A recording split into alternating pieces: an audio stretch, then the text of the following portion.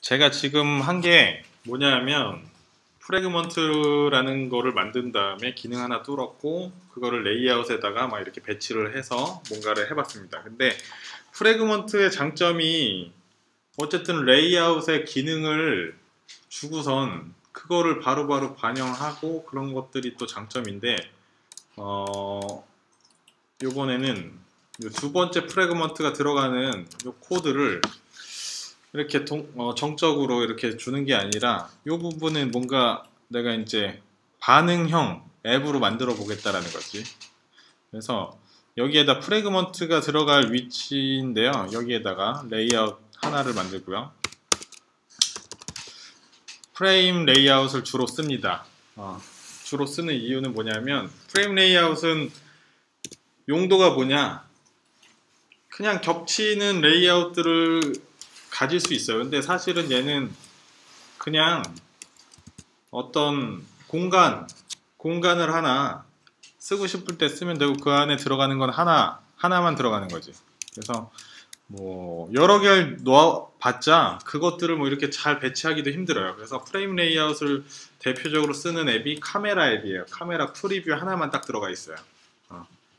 그래서 일단은 이런 영역을 하나 만들고 나는 이 영역 안에다가 어, 동적으로 fragment를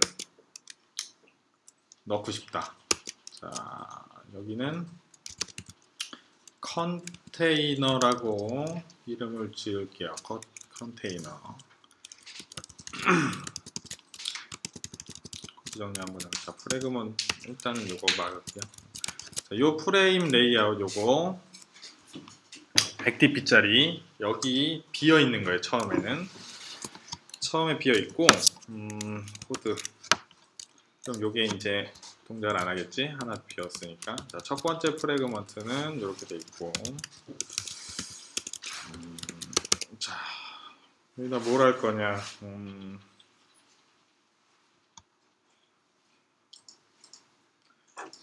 자 코드로 코드로 fragment를 추가하는 겁니다. 어, 일단은 추가 할 fragment를 하나 생성을 합니다. color fragment를 하나 생성을 해요. 이거는 추가할 거야. 어, 그래서 color fragment 2라고 하고요. 자, 얘는 new color fragment 해서 만듭니다. 음, 없었던 게 생기는 겁니다.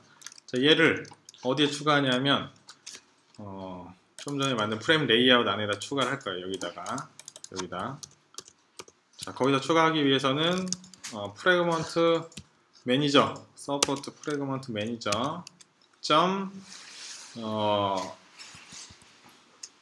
어디 있지? 어, begin transaction 자, transaction이라는 용어를 이제 데이터베이스나 이런 걸 하면서도 쓸 건데 transaction은 작업이에요 작업. 작업을 시작하겠다 그래서 transaction이라는 거는 작업을 할 거 내용을 쭉 기술을 해놓고서 마지막에 commit을 딱 하면서 한 번에 수행을 하는 게 transaction이에요. 그래서 이제 fragment는 transaction이 있어요.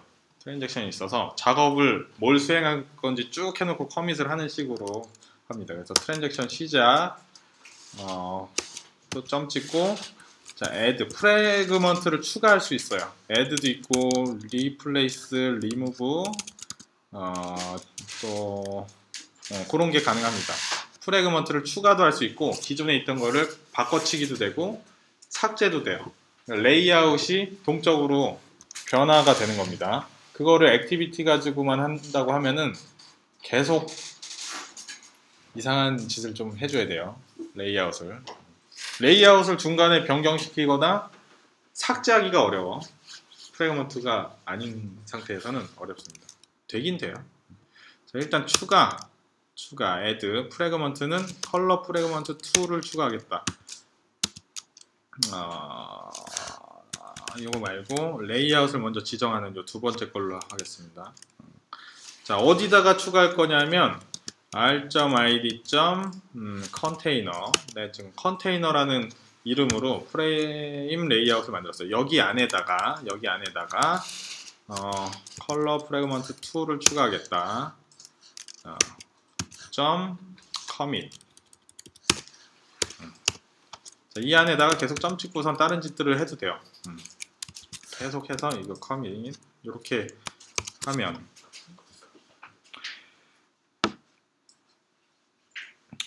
자 위에 거는 XML에서 가져와 가지고 뭔가 하는 거고 밑에 거는 동적으로 fragment 생성해 가지고 레이아웃에 어, 추가하는 겁니다. 그래서 transaction이라는 거를 쓰는데 fragment manager가 필요하다.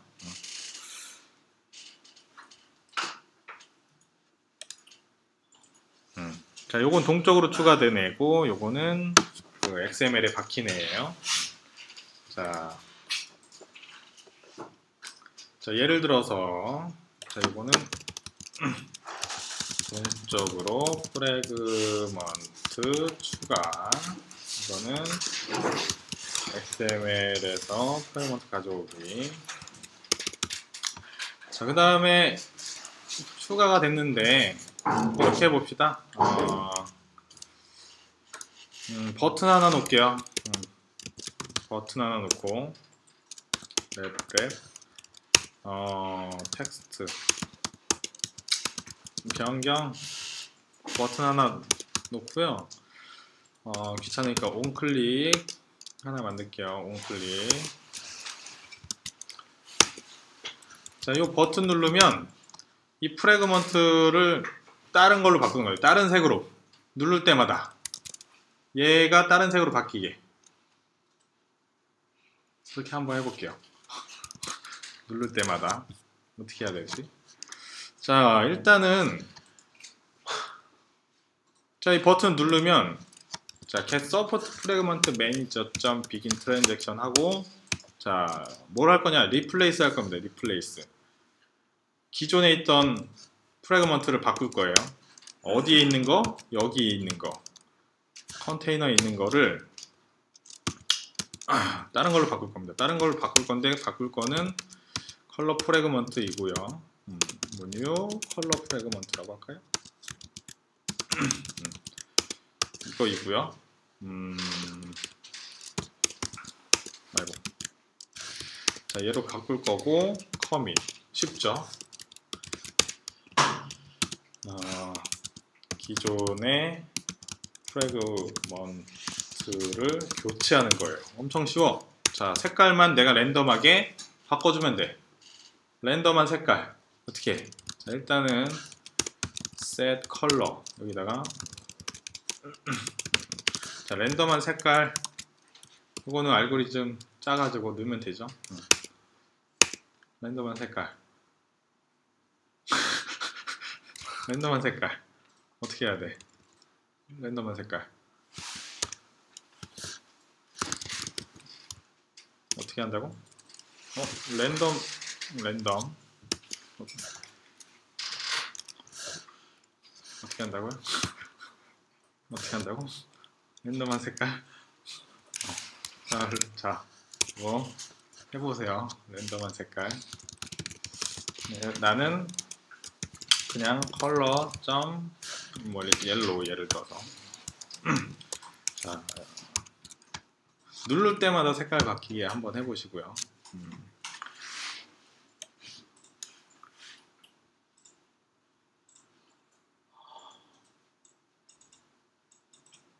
이게 근데 뭐지? 아 이렇게 들어있구나. F F F F F F F F 알파 알파 RGB RGB 그러니까 잘 하면은 되겠죠. 어쨌든. 자 변경을 눌러 어 안 됐어. 뭘 잘못했나 봅시다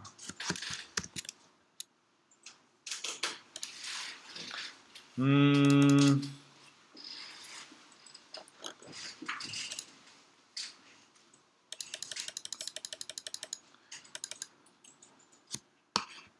널 포인터 익셉션.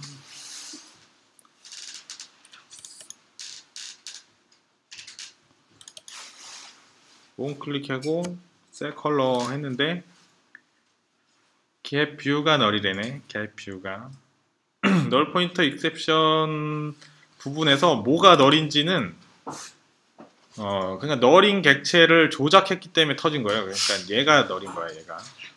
얘가 왜 null이지? 음, fragment를 만들었고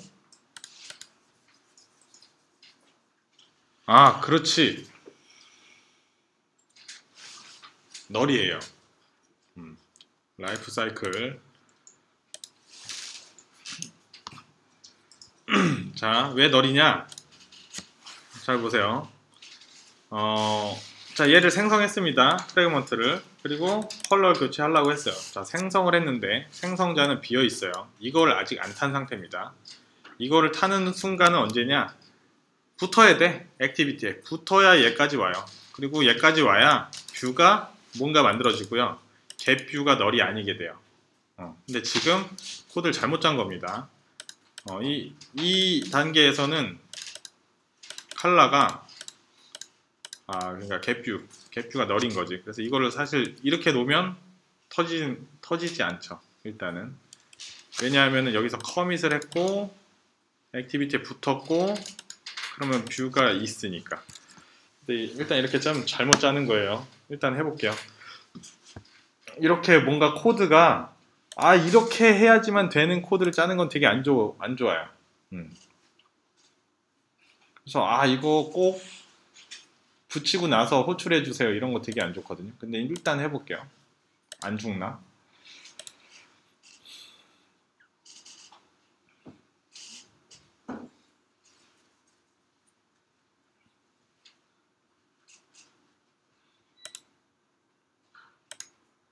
아 죽었네. 아 일단 이렇게 짜면 안돼. 이게 왜 죽냐면 커밋이라는 게 비동기로 동작해요. 커밋이.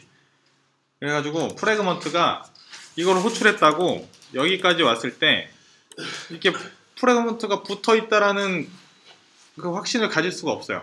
붙는 동작을 내가 명령만 한 거지 얘가 붙어 있다라고 볼 수 없습니다. 그래서 얘를 호출했을 때 어떨 때는 이게 null일 수도 있고 아닐 수도 있는 거예요 이거는 되게 위험한 코드야 이런 거는. 그래서 이걸로 테스트를 몇 번 했는데 잘 됐어. 근데 죽을 여지가 있는 거지. 자 이렇게 짜면 안 되고 어떻게 짜야 되냐? 자 일단은 자, set color라는 기능이 여기서 바로 어, 세팅을 하게 하면 좀 그래요. 어, 좀 그래. 그래서 내가 이제 짠다고 하면 속성을 하나 추가를 할게요 int color m color 뭐 어, 처음에 컬러를 white로 하나 주고. 여기다가 그냥 아, 기본값이 red였나요? 어, red. 이렇게 해놓고 음, 여기는 M 컬러 속성만 이걸로 바꿔주는 식으로 이렇게 짜야지. 이렇게 짜야지 될 것 같아요. 그리고 어, 이렇게 짜야지만 어, 좀 전에 어, 이렇게 했을 때 잘 먹고요. 근데 또 이런 경우도 있습니다. 붙어 있는 상태에서 컬러 교체도 하고 싶거든요. 그것까지 되게 하려면 어, 어떻게 해야 돼? 여기서 어, getView가 null이 아니면 이미 붙어 있는 거니까 그때는 view.setBackground도 해준다. 이게 지금 별거 없어요 코드가. 별거 없는데 라이프 사이클을 이해하지 않으면 이런 코드를 짤 수가 없어요. 어, 그래서 라이프 사이클이 중요한 겁니다. 별건 없어 사실은. 그래서 하다 보면 되는 코드를 찾을 수는 있지만 찍기가 돼버려요. 어, 라이프 사이클 모르고 하면 찍기가 돼서 찍다 보면 죽을 수 있는 여지가 항상 있는 거야 앱이 자 일단은요. 어, 변경되고요. 음, 아무튼 이제 잘 되는 코드가 된 거예요. 어, 막 짜면 안 되는 거고. 음, 이거는 자, 아무튼 잘 정리하세요. 잘 정리하고 내 동영상 찍고 있으니 잘 정리하시고 음, 자 그래서 코드로도 어, 조작을 할 수 있다. 아, 코드로 음, fragment인데 코드로 어, fragment 추가 아, 교체 어쩔 때 쓰냐고요? 아, 그거는 이제 하다 보면 나와요. 그러니까 지금 아직까지 얘에 대한 메리트를 정확히 모르겠잖아요, 그렇죠? 네네. 어. 이제 좀 있으면 겪게 돼. 아? 아, 며칠 있- 있다가 겪을 수도 있고, 아니면 이번 주 안에. 한 화면에 여러 개 넣고 싶어. 그러니까 재사용성 때문에 이거를 일단 쓰는 거고요. 재사용성. 제가 그러면은 지금 얘기가 나왔으니까 이렇게 네, 궁금한 게 재사용이라고 하면은 저희 앞전에 배운 view holder들 있잖아요. view holder는 그 view list view 안에서의 재사용. 네 네. 이 activity 레이아웃 전체를 구성하는데 재사용할 수 있는 레이아웃을 만드는 거가 이 fragment인데 정확히 어떻게 쓰는지 모르겠어요. 어. 자, 그거를 슬라이드.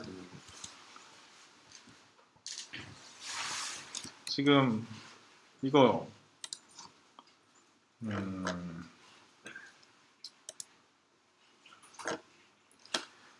이거 할 때 쓸 거예요. 이거 태블릿 화면 만들 때. 그러니까 어, 태블릿을 염두에 두고 만들면 태블릿 때문에 나왔어요. 일단은 나온 배경이 네. 어, 태블릿이 나오면서 나왔고요. 일단은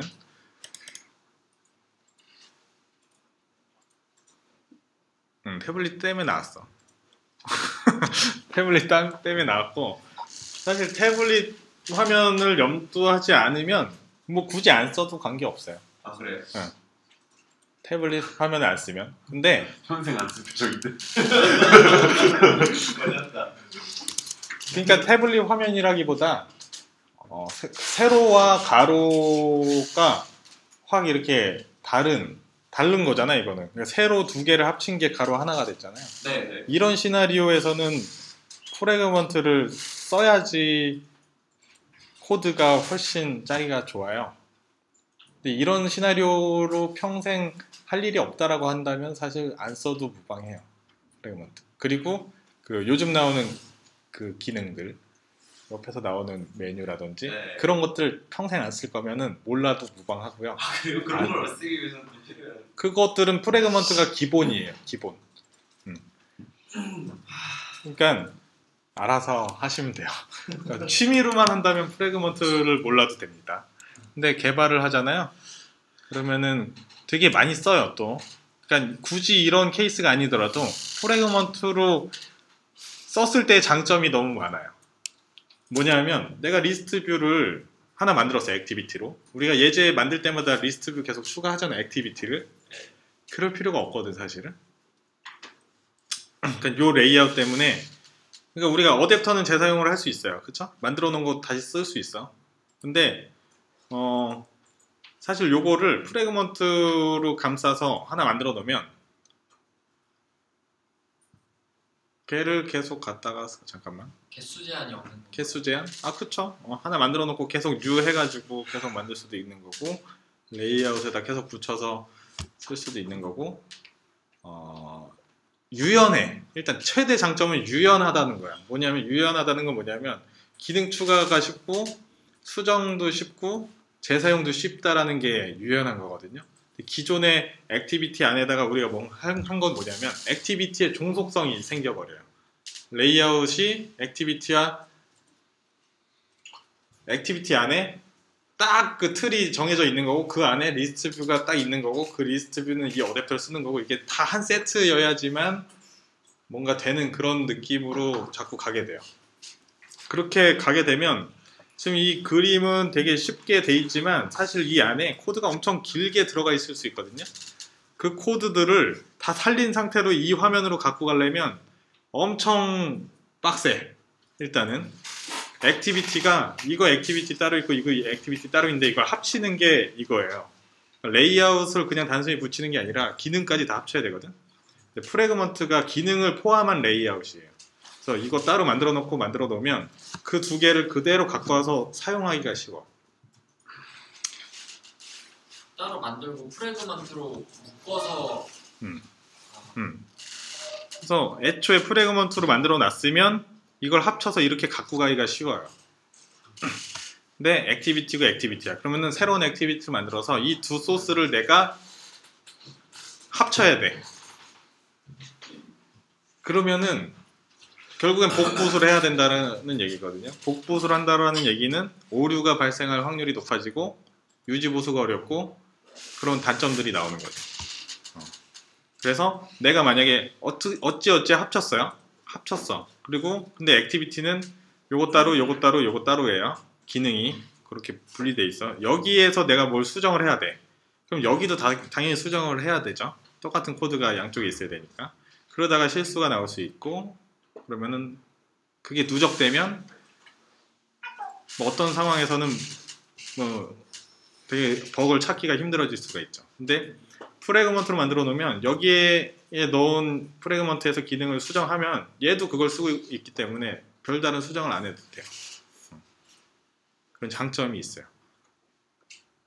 근데 어쨌든 안 쓰고 피해갈 방법은 있으니까 그리고 안 쓰고도 충분히 개발을 하고 있고요. 다른 데서도 음. 별로 없는 것 같아. 여기 치킨이 아니라 쓰는 데 없을 쓰는 데가 없을 것 같지. 구글 스토어에 저거 쓰는 게 많은데 음. 스토어의 그것도 계정 좋았네. 부분도 저거 한거 아니에요? 음. 그, 그러니까 그 뭐지 그 구글 스토어에 올라오는 그 자, 지도, 구글 맵 같은 거 프레그먼트로 제공이 됩니다. 프레그먼트를 알면 쓸 수가 있겠고요. 모르면은 구글 맵은 못 쓰겠죠. 어. fragment로 제공이 돼요. 어. fragment로. 어. 알아야 되네. 아무튼 뭐 그런 식이고요. 음. 아. 제가 겪었던 일 중에 하나가 어, 일단 여러 가지 이유 때문에 라이프 사이클 처리하는 것도 귀찮고 어, 그걸 하기 위해서 너무 시간이 많이 들고 뭐 그러니까 계속 가로 모드를 지원하지 않는 세로 모드만 지원하는 앱이 있었어요 회사에. 전에 다녔던 회사에. 그게 몇 년간 그렇게 쭉 가가지고 정말 main activity 코드가요 만 줄이 넘었어요 일단. 만 오천 줄 막 이랬어요. 기능이 거기 집중이 돼 있지. 자 그건 모듈화가 돼 있지 않습니다. 그래서 main activity에 분명히 눈으로 봤을 때는 눈으로 봤을 때는 이 메뉴 부분 좀 따로 띄고 싶고 뭐 이런 메모장 화면 이런 거 따로 돼 있었으면 좋겠고 뭐 이런 뭐, 뭐 펜을 선택하는 dialog나 이런 거 좀 떨어져 있었으면 좋겠어요. 하지만 이건 다 붙어 있어요. activity 안에. 그렇게 개발이 되고 있었어요. 어, 이거를 손을 보고는 싶은데 시간이 없는 거야. 근데 그날이 온 거지. 높으신 분이 가로 모드를 전면 지원해라. 모든 앱에. 그날이 왔어. 그래서 이게 엄청난 일이에요. 이게. 일단은 이 안에 지금 그림은 이렇게 나와 있지만 굉장히 많은 기능이 이 안에 있을 수 있어요. 그게 모듈화가 하나도 안 돼 있어. 근데 또 가로 모드로 가면서 이런 시나리오가 나왔지. 그 전 거랑 뭔가 같이 이렇게 뭔가 되는 뭔가 필요한데 이거를 그냥 단순하게 activity 하나를 다시 만들어서 이 두 개를 합치려고 보니까 코드가 2만 라인이 넘어가네. 근데 일단은 복붙을 하는 것도 일이야. 그 원래는 intent를 통해서 이렇게 넘어가고 이런 건데 이거를 이제 안 넘어가고 이렇게 다 고쳐야 되는데 이거 하나하나 찾는 것도 일이고 그래서 fragment를 쓰자라고 제안을 했어요 제가. 제안을 했는데 쓸 줄 아는 사람이 없어. 일단. 그래가지고 어, 간단하게 설명을 해가지고 fragment를 쓰는데 이 사람들이 이제 쓸 줄 몰라가지고 fragment라는 코드를 쓰긴 쓰지만 fragment가 아닌 코드로. 아무튼 그냥 뭐 이상하게 한 적이 있었습니다. 그래서 근데 어- 결국에 어쨌든 간에 뭐 이제 하긴 했는데 되게 그런 걸 한번 겪고 나면 fragment를 공부해야지라는 생각이 확 올라와요. 그거 겪으면 그래서 내가 다시는 이런 개고생을 하지 말아야지. 개고생을 한번 해봐야죠. 어, 한번 해봐야 인간 진화의 네.